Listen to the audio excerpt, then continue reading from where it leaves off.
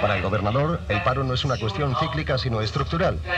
La bolsa continúa subiendo. Vamos a matar a ese cabrón.